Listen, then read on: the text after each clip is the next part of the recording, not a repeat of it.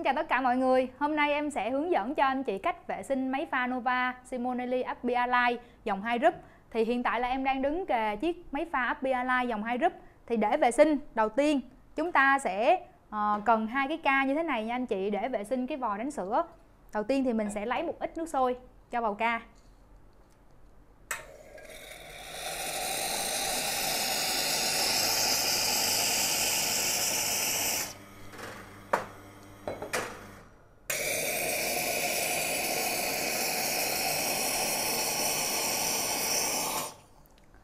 chúng ta vệ sinh bằng thuốc nha anh chị, thì mấy xa mấy mấy mấy pha của chúng ta mới sạch được. Tiếp theo, chúng ta sẽ cần thuốc vệ sinh mấy pha. Thì đối với mỗi ca như thế này, thì anh chị sẽ cho một muỗng thuốc như thế này giúp em ạ. À.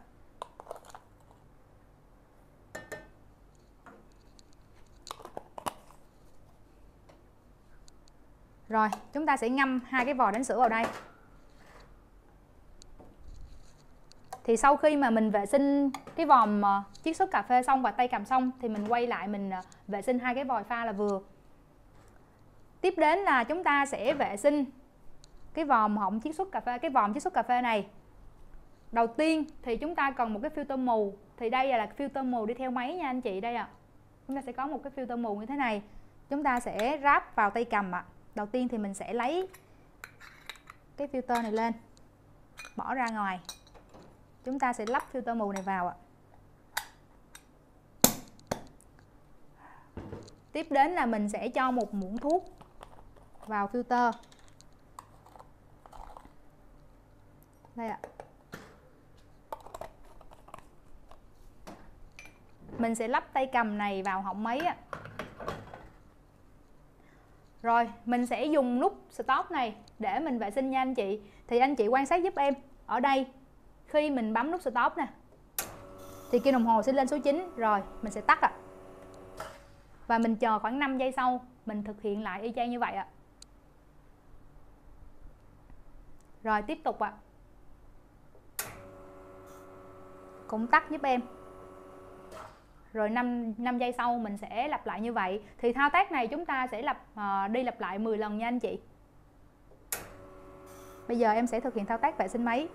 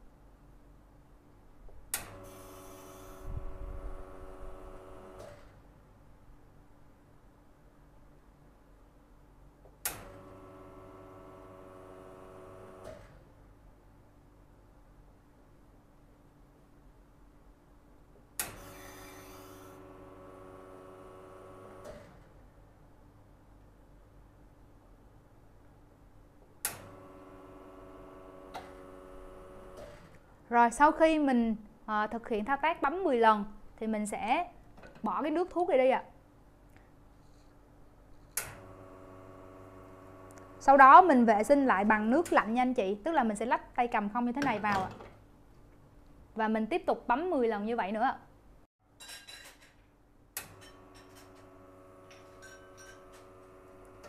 Chúng ta cũng sẽ làm tương tự y chang như ờ, lần xả thuốc nha anh chị bấm và chờ kim chạy đến số 9 chúng ta tắt và đếm 5 giây thì sẽ bấm lại.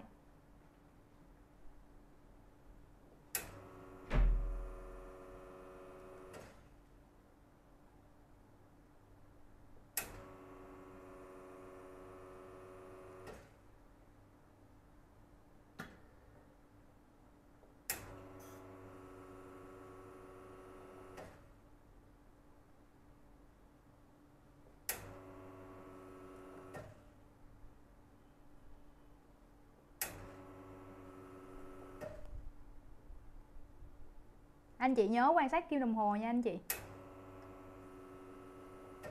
Rồi sau khi xong 10 lần thì chúng ta sẽ tháo tay cầm ra. Lúc này thì ờ, hầu như là lớp uh, cái bột cà phê trong máy đã hết sạch rồi thì ứng với tay cầm bên đây chúng ta cũng sẽ làm tương tự như vậy nha anh chị. Tức là chúng ta sẽ xả thuốc ờ, uh, 10 lần và sau đó là xả lại nước lạnh 10 lần sau khi mà anh chị đã bấm như vậy xong, thì tiếp theo chúng ta sẽ vệ sinh cái họng chiết xuất cà phê bằng cách là chúng ta sẽ cho dòng nước chảy như thế này bằng nút stop và chúng ta sẽ lấy cái chổi, cái cọ để mà cọ xung quanh. Anh chị nhớ cọ nhẹ tay thôi nha anh chị. Mình sẽ cọ xung quanh như thế này để loại bỏ những cái hạt cà phê bám trên cái miệng ờ, họng chiết xuất ạ. À. rồi, như vậy là xong. Đối với tay cầm này thì à, anh chị à, sẽ vệ sinh nó bằng cách là chúng ta sẽ có một cái ca nước thuốc. Chúng ta sẽ ngâm vào ngâm vào khoảng 5 phút để những cái vết cà phê này à, bung ra, mềm ra. Sau đó chúng ta sẽ chà sạch nha anh chị, chà sạch bên trong này nè. Tất cả bên trong này cũng như là cái lưới lọc này cũng sẽ phải ờ, chà sạch hết luôn ạ. Tiếp đến là em sẽ vệ sinh vòi đánh sữa. Thì ở đây ạ, em đã ngâm thuốc trước đó thì bây giờ là em sẽ vệ sinh nó bằng cách là chúng ta sẽ đẩy hơi như thế này.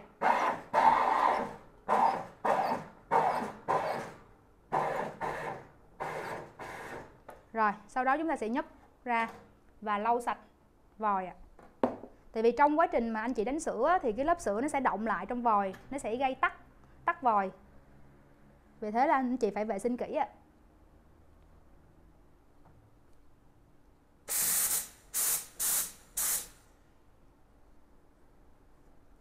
Thì đối với vòi đánh hơi bên đây Chúng ta cũng sẽ vệ sinh tương tự như vậy nha anh chị. Tức là chúng ta sẽ đánh hơi, đẩy hơi như thế này. Và cũng lấy ca ra rồi lau vòi Tương tự như và cái vòi bên đây em đã làm rồi. Thì sau khi mà anh chị ờ, vệ sinh xong Thì chúng ta sẽ uh, lấy một cái lượng cà phê đủ cho một lần pha Để tráng đi cái lớp thuốc mà chúng ta vừa vệ sinh.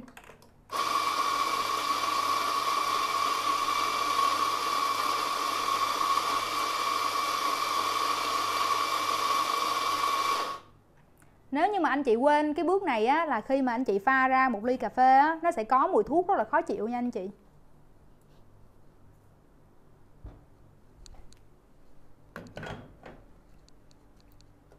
Anh chị cứ để cái dòng cà phê cứ chảy xuống khay như thế này ạ. À, để rửa trôi đi cái lớp thuốc mà mình vừa vệ sinh xong.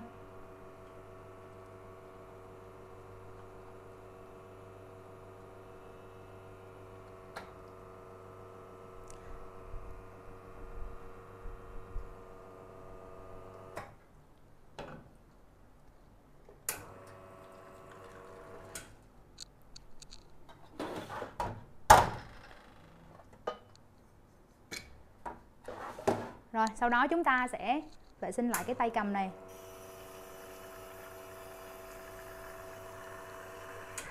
Đồng thời thì anh chị có thể dùng cọ vệ sinh lại cái họng chiết xuất cà phê.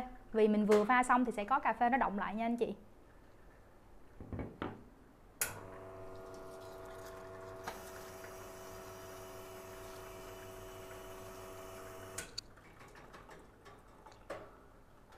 Sau khi xong hết thì anh chị có thể lắp tay cầm lên ạ.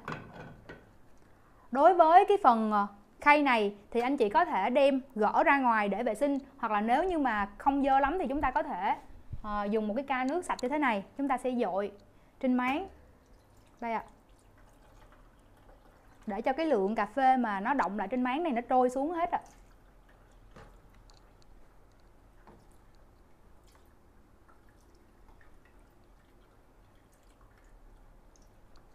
Ngoài ra thì chúng ta còn ờ, dùng những cái khăn sạch để lau những cái phần kiến này nha anh chị để máy pha của anh chị có thể là nhìn nó mới hơn bóng sáng hơn và đẹp hơn